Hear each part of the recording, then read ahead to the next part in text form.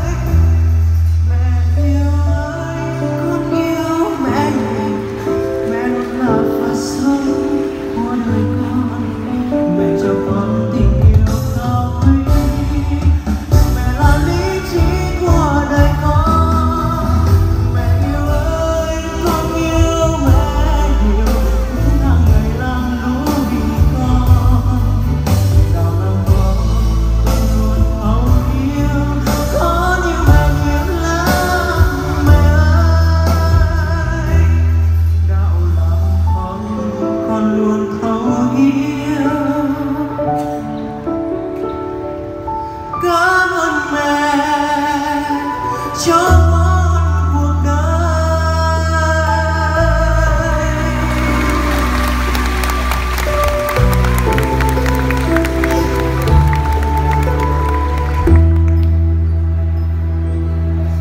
cảm ơn em. À, Minh nhật học sinh lớp 94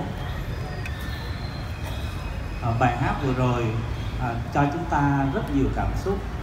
À, bạn đã hát với tất cả tâm tình của mình để gửi lời, gửi lời đến mẹ. Cảm ơn mẹ. Trước bao nhiêu con người ở đây em muốn nói lời cảm ơn mẹ.